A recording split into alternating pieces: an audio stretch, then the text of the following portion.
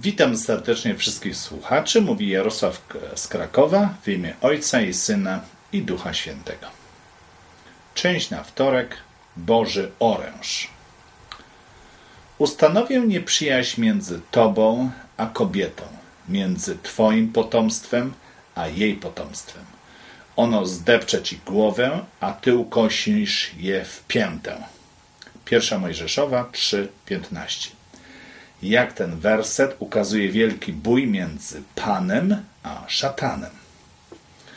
Symboliczny język pierwszej księgi Mojżeszowej 3.15, w którym przepowiedziany jest wielki bój, daje nam wgląd w Boże zasady walki. Widzimy, że konflikt, który na ziemi rozpoczął się od węża i kobiety, miał się rozwinąć, zaangażować naśladowców początku początkowych uczestników, potomstwo kobiety i potomstwo węża. Z biegiem czasu, jak wiemy, walka miała doprowadzić do śmiertelnego starcia między szatanem a potomkiem kobiety, Jezusem z Nazaretu. Najważniejszym orężem Boga jest Chrystus, który przyszedł, by walczyć za kobietę i jej potomstwo. Odniósł obrażenia, ale ostatecznie zadał śmiertelny cios wężowi. Decydującym dokonaniem w tej walce była ofiara Jezusa, przejaw bezinteresownej miłości. Jak powyższe wers, poniższe wersety pomagają nam zrozumieć niektóre zagadnienia wielkiego boju? Dlaczego plan zbawienia ma istotne znaczenie w walce między Bogiem a szatanem? Porównaj księgę rodzaju, czyli pierwsza księga Mojżeszowa, czwarty rozdział, czwarty werset.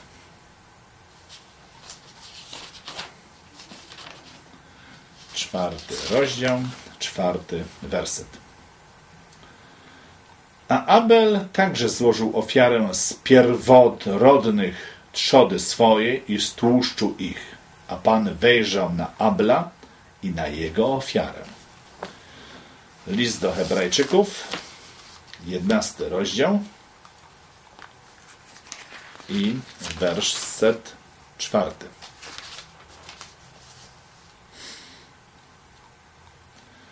Przez wiarę złożył Abel Bogu wartościowszą ofiarę niż Kain, dzięki czemu otrzymał świadectwo, że jest sprawiedliwy, gdy Bóg przyznał się do jego darów i przez nią jeszcze po śmierci przemawia. Porównaj pierwsza księga Mojżeszowa, dwunasty rozdział, werset trzeci. I będę błogosławił błogosławiącym Tobie, a przeklinających Cię przeklinać będę. I będą w Tobie błogosławione wszystkie plemiona ziemi oraz 22. 18. I w potomstwie Twoim błogosławione będą wszystkie narody ziemi za to, że usłuchałeś głosu mego. Porównaj z księgą, listem do Galacjan, trzeci rozdział.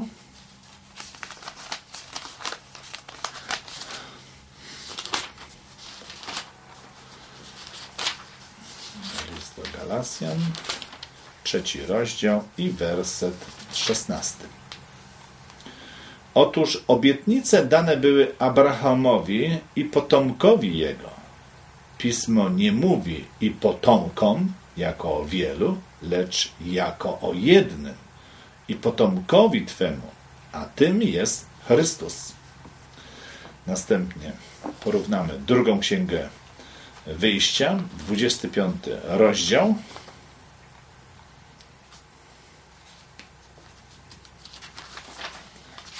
25 rozdział, werset 9. Dokładnie według wzoru przybytku i wzoru wszystkich jego sprzętów, które ci pokażę, tak wykonacie. Porównamy z listem do Hebrajczyków, czwarty rozdział.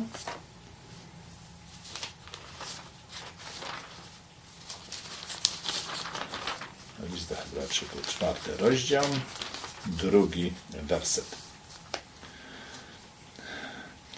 I nam bowiem była zwiastowana dobra nowina, jak i tamtym, lecz tamtym słowo usłyszane nie przydało się na nic, gdyż nie zostało powiązane z wiarą tych, którzy je słyszeli. Następnie porównamy Księgę Izajasza, 53 rozdział, szósty wiersz. 53 rozdział, szósty wiersz. Wszyscy jak owce zbłądziliśmy, każdy z nas na własną drogę zboczył, a Pan jego dotknął karą za winę nas wszystkich. List do Rzymian, piąty rozdział, ósmy wiersz.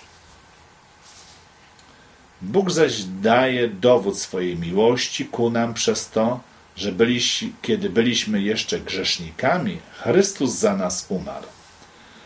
Porównamy jeszcze Ewangelia Mateusza, 16 rozdział, 18 wiersz.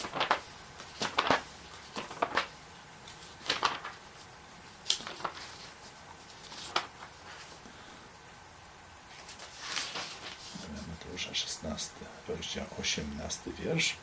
A ja ci powiadam, że ty jesteś Piotr i na tej opoce zbuduję kościół mój, a bramy piekielne nie przemogą go.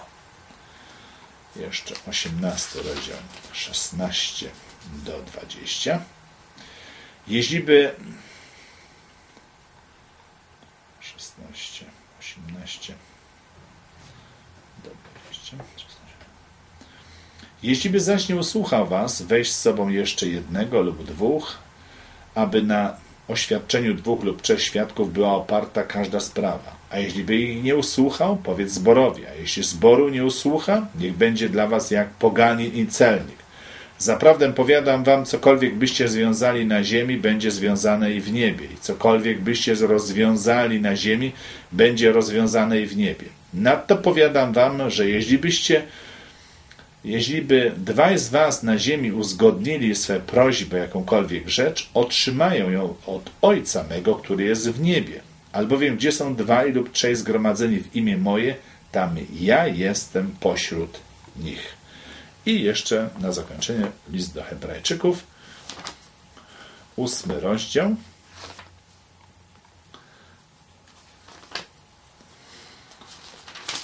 Werset pierwszy i drugi. Główną zaś rzeczą w tym, co mówimy, jest to, że mamy takiego arcykapłana, który usiadł po prawicy tronu majestatu w niebie, jako sługa świątyni i prawdziwego przybytku, który zbudował Pan, a nie człowiek. Dziękuję.